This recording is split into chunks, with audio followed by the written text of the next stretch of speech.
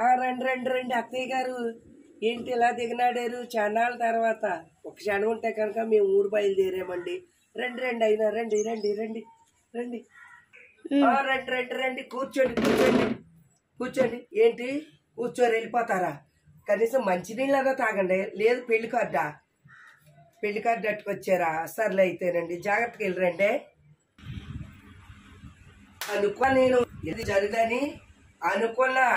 మా అమ్మ పైకి వెళ్తా వస్తువు నాకు చెప్పేయింది.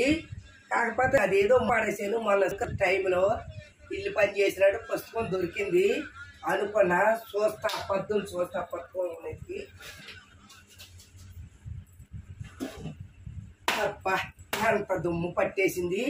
అమ్మ ముప్పై ఏళ్ళ క్రితం ఉంది కదా. ముప్పై సార్ల క్రితం కాలాళ్ళు మా పెళ్ళిళ్ళ టైంలోను చదివి చదివి అంట వాళ్ళకి పిల్లలు లేటుగా పుడతంలోని ఇప్పుడు పెళ్ళిళ్ళు చేస్తున్నారంట. వాళ్ళు పెళ్ళి కార్డు పట్టుకొని వచ్చారు పద్దులు చూస్తాను. సరే. కుక్కలు గణపతి పది రూపాయలు.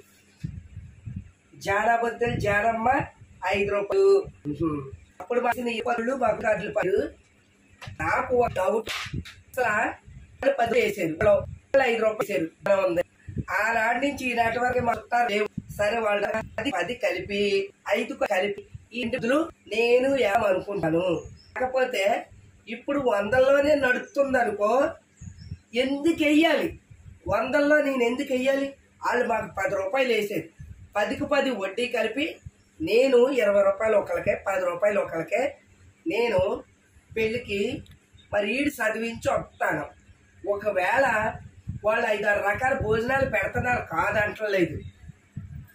నేను ఒక మూడు రకాలు వేయొద్దని చెప్తాను. అంతకే కాకపోతే కనుక భోజనాలకే నేను డబ్బులు తక్కువ చదివిస్తున్నాను అనేలాగుంటే ఒక మూడు రకాలు వేయొద్దు అంటాను నిమ్మకాయ మొక్క వేయొద్దు అంటాను సాల్ట్ వేయొద్దు అంటాను చిన్న చిప్స్ కూడా వేయొద్దు అంటాను ఓ మూడు రకాల బంతులు తగ్గించుకుంటాను అవసరమైతే కానీ నేను ఆ పదికి పది ఐదుకి ఐదు వేసి పద్దు రాయించి ఈడు చదివిచ్చేసి శుభ్రంగా భోజనం చేసి వస్తాను ఏ మాటకు ఆ మాట అనుకున్నామో ఎన్ని సంవత్సరాలు అయినా సరే వాళ్ళ డబ్బులు వాళ్ళకి వెయ్యాలి కదా? అందుకనే నేను చాలా మరి మాట తప్పిందని కాదు. వాళ్ళ డబ్బులు వాళ్ళకి వేసేసి భోజనం చేసి వస్తాను. మరి పెళ్ళికైతే కనుక బయలుదేరుతాను. సరే మరి ఇది